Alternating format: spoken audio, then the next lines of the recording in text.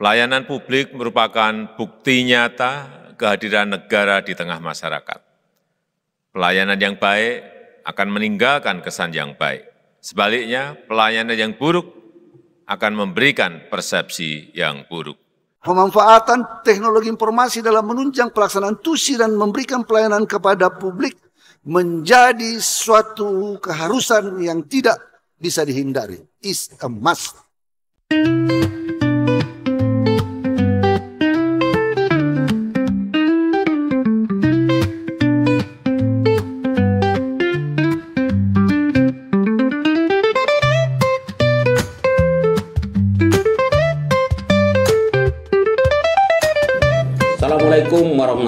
Warahmatullahi wabarakatuh. Salam sejahtera untuk kita semua. Om Swastiastu, Namo Buddhaya, dan salam kebajikan. Yang terhormat Ibu Kepala Pusat Pengembangan Pelatihan Teknis dan Kepemimpinan Ibu Morina Harap sebagai penguji. Yang kami hormati Kepala Divisi Pemasyarakatan Kantor Wilayah Jawa Tengah, Bapak Kadiono sebagai mentor. Yang kami hormati Ibu Elis sebagai coach, Izin memperkenalkan diri, saya Joseph Welo, Kepala Lembaga Pemasyarakatan kelas 2B Batang. Pada kesempatan yang baik ini, saya selaku peserta pelatihan kepemimpinan administrator Angkatan 73 akan melaporkan implementasi aksi perubahan saya yang berjudul Optimalisasi Pelayanan Publik melalui Sistem Pelayanan Terpadu Silaba Sentra Informasi Lapas Batang. Berdasarkan Undang-Undang Nomor 25 Tahun 2009 tentang Pelayanan Publik yang telah memberikan mandat jelas kepada seluruh instansi pemerintah, termasuk lembaga pemasyarakatan, untuk senantiasa meningkatkan kualitas pelayanan publik. Perkembangan media sosial yang masih menyebabkan pengawasan masyarakat terhadap kinerja pemerintah semakin tinggi, terutama masyarakat penerima layanan publik yang buruk tentu akan menurunkan kepercayaan masyarakat terhadap kinerja pemerintah itu sendiri. Dengan kapasitas daya tampung 217 orang dan saat ini dihuni 371 orang sehingga lapas kelas 2 Batang mengalami over kapasitas kurang lebih 69 persen. Untuk mengatasi permasalahan tersebut, maka perlu dilakukan terobosan inovasi pelayanan yang membuat gagasan aksi perubahan dengan menjadikan semua layanan dalam satu entitas yang lebih efisien, efektif, dan mudah dijangkau oleh siapa pun. Hal ini menjadi isu yang sangat perlu segera mendapat penanganan yang lebih cepat dan tepat untuk meningkatkan pelayanan kepada warga binaan pemasyarakatan, keluarga warga binaan pemasyarakatan, masyarakat, dan seluruh pengguna layanan pemasyarakatan di lapas kelas 2 Batang. Seperti apa tahapan atau milestone dari kegiatan optimalisasi pelayanan publik melalui sistem pelayanan terpadu? Yang pertama, adalah terbentuknya tim efektif pelaksanaan aksi perubahan.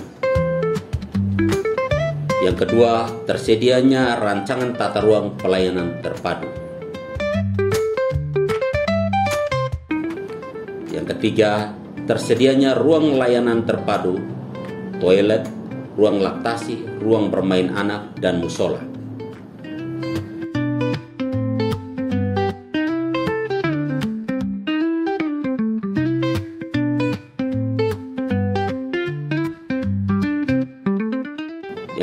Tersedianya SOP alur layanan terpadu.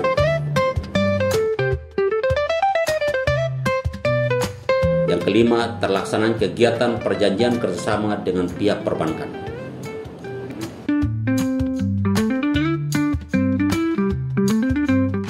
Yang keenam, terlaksananya pelatihan pelayanan prima bagi petugas lapas kelas 2 Batam dari pihak perbankan.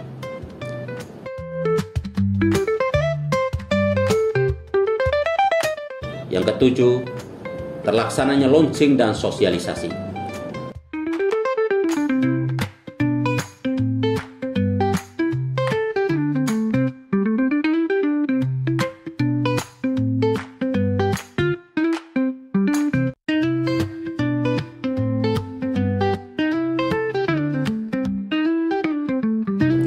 Yang kedelapan, terlaksananya survei kepuasan masyarakat periode Juli sampai Agustus.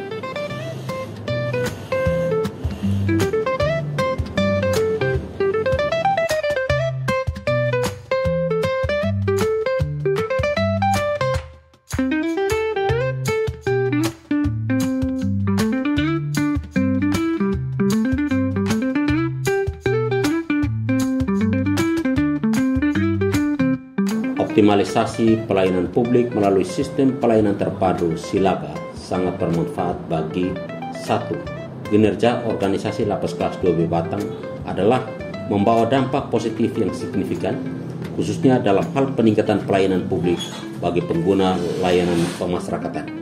Dua, bagi stakeholder adalah keterbukaan informasi bagi stakeholder dan masyarakat sebagai penerima pelayanan. Yang ketiga, manfaat aksi perubahan dikaitkan dengan RB tematik yang berdampak adalah terciptanya birokrasi yang tangkas dan pelayanan publik berbasis digital untuk memudahkan masyarakat sebagai penerima pelayanan. Kegiatan layanan terpadu akan menjadi kegiatan yang berkelanjutan karena menjadi bagian yang tidak terpisahkan dari tugas dan fungsi petugas subseksi registrasi dan pembimbingan pemasyarakatan yang tercantum di dalam sasaran kinerja pegawai atau SKP masing-masing pegawai. Strategi pengembangan kompetensi yang dilaksanakan berupa pelatihan pegawai dari BAN Jawa Barat, pengarahan secara terus-menerus oleh pimpinan, sharing antar petugas, OV morning, dan briefing. Adapun manfaat adanya pelayanan terpadu satu pintu dapat dikaitkan dengan tiga mata pelatihan di antaranya. Satu, pelayanan yang berbasis SAM.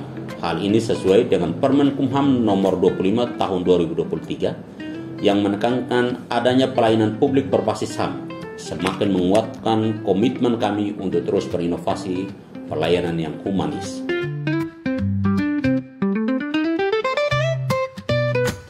Yang kedua, pelayanan yang bebas dari peredaran narkotika. Dengan adanya layanan terpadu ini memudahkan deteksi dini terhadap penyelundupan barang-barang terlarang, khususnya narkotika, obat-obatan terlarang, dan sejenisnya.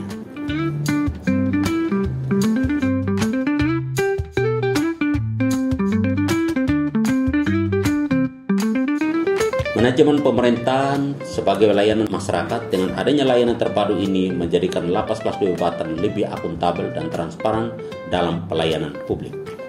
Layanan terpadu ini kami diseminasikan melalui media sosial Lapas Kelas 2 Batang di antaranya melalui Instagram, YouTube, dan Twitter. Media online seperti Batang Cup, RRI, dan Info Public dan televisi lokal yaitu Batik TV. Sementara itu pemirsa PTSP Lapas Batang mengoneksikan kemudahan layanan untuk para pengunjung. Informasi selengkapnya kami hadirkan untuk Anda. Lapas kelas 2B Batang terus meningkatkan kualitas layanan bagi warga binaan pemasyarakatan atau WBP maupun keluarganya saat berkunjung. Demikian yang dapat saya paparkan dari laporan aksi perubahan ini dengan judul optimalisasi pelayanan publik melalui sistem pelayanan terpadu Silabas atau dikenal dengan Sentra Informasi Lapas Batang. Terima kasih atas perhatiannya. Semoga aksi perubahan ini dapat membawa kemajuan yang signifikan bagi Lapas Kelas 2 Batang serta memberikan manfaat nyata bagi para pengguna layanan pemasyarakatan. Assalamualaikum warahmatullahi wabarakatuh. Om Santi Santi Santi.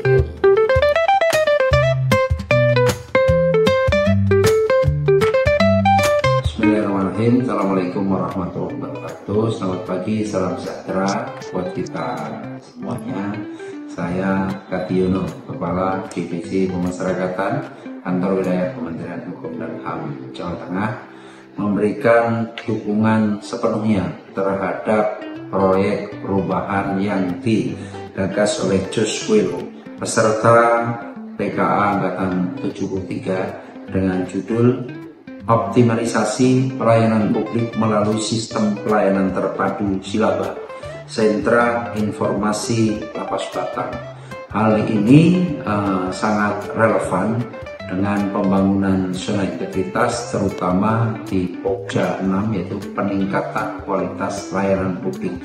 Bahwa uh, organisasi lapas rutan diwajibkan untuk memberikan pelayanan publik yang baik dan hal ini dilaksanakan uh, oleh Josh Kuilo selaku peserta PKA Angkatan 73 bahwa ekspektasi masyarakat yang tinggi harus dijawab dengan pelayanan publik yang baik, transparansi, akuntabel, sehingga masyarakat memperoleh layanan publik yang baik dan akan memberikan penilaian-penilaian yang positif buat organisasi.